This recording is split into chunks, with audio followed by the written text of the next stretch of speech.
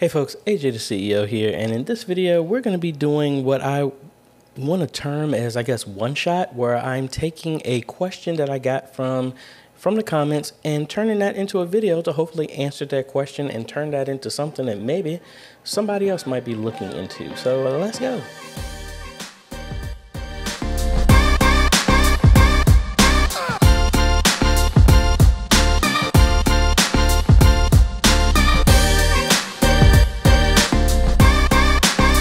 CEO here, and in this video, we're going to be answering a question by Jeff Mayfield, and his comment is. Do you know of a way to send audio and video to TVs in the church via HDMI out from the computer? I have another TV connected to the HDMI out, but only video is being sent. We would like to be able to use our same camera for live streaming to send over to the other rooms in the church. Thanks, Jeff. Well, Jeff, this is really simple. I'm going to add some extra stuff to this because I don't know exactly your full setup, but let's go ahead and jump over to the computer and kind of how I would answer this. Um, I've actually done this a little bit, like I'm using this right now, this first method, um, to use with my teleprompter, and we will go over how to do that. Now, the first thing you need to do for this to work is you need to make sure your computer actually supports audio over HDMI. Normally, with any AMD or NVIDIA graphics card, that has HDMI out, it should support it. Let me show you how you can check this on Windows, and this does work the exact same way for the Mac, but let's go ahead and show how to do it on Windows. So the first thing we're gonna do is I'm gonna go down here to my sound bar, which is on a different screen, but we're gonna go to our sound settings, and we're gonna go to sound control panel. And we need to make sure that we have this option here that now I'm connected to my ATEM Mini Pro, but this shows as a playback option as the HDMI. So I can send audio this way, which is good. That's all we need to check.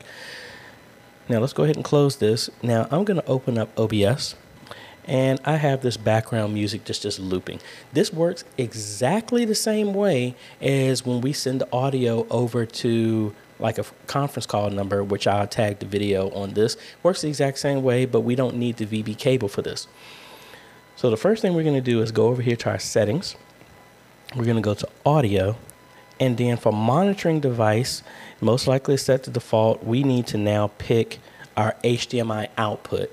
This is going to be sending the video as well as the audio. And I am obviously using OBS for this. This will also work for vMix. Let's go over here, select that, and okay. Now, just as a refresher, by setting the monitoring device, when we go through our sources and set output and monitor, it's going to send the audio to the live stream, but it's also going to send it to our monitoring device of choice, which is the HDMI. So we're going to come over here. And actually, let me bring open my ATEM software, and as you can see, my audio is coming in on mic one, but input number two is the HDMI, which without really even doing anything, we have our audio. So let's go here to advanced under the soundtrack, and actually I already had it at monitor and output, but you switch it to that, and now you're getting this audio. So every source of video, you want to make sure you're actually doing that. So let me pick my webcam here. All right, so you see we have our video here, camera right here, and we're doing audio. So the same way, I have my ATEM back here, so you see our audio coming through that's off.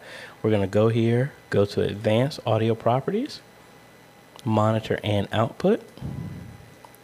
And now, as I talk, you see we're now getting a reading on the HDMI in from this computer. So we are getting audio. Now, the only next thing you have to do is just like what I use with the teleprompter that I'm using right now, based on Jeff's email, I mean, his comment, he said he's already using the HDMI out to feed video. All we're doing is adding audio to it. So in this case, let me go back to this one where we're still getting our background music. All we have to do is right click, go to full screen projector, pick our monitor, and now this is going to be outputting and sending video I mean, excuse me, the video. is going to be sending video and audio over the HDMI out that for me is going to this monitor, but really this is the ATEM input, which will be a projector, TV, whatever, and audio is coming through. So if I bring up our control, as you can see, audio is still going. So let me mute my audio real quick and then we'll listen on the audio that's coming solely from the HDMI.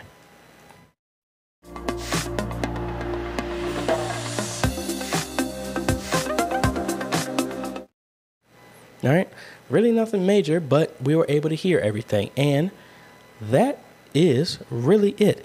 Now, this works the exact same way um, in OBS, I mean, excuse me, in um, vMix.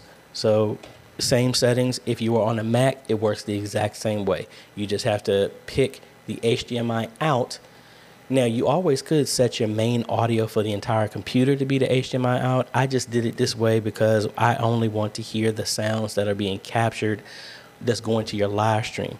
I do this at my church as well too because I don't want the Windows or the desktop or the operating system sounds to chime and beep for people to hear in the sanctuary or on the other TVs and overflow areas and things like that. So hopefully that answers your question. And I guess this was the first one shot. Let me know what y'all think about this.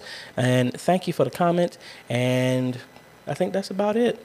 Um, if I get another comments, we'll be trying to do some more of these that we can get some quick answers to answer some of y'all's questions. So if you like this type of content, I appreciate a like, consider subscribing, and hit that bell. That way you get notified when we come out with other videos to help Modernachi Media Ministry. And I want to thank the patrons and YouTube members for making this video possible. Their names are scrolling right now, and you too can become a patron or a YouTube member by clicking the links below.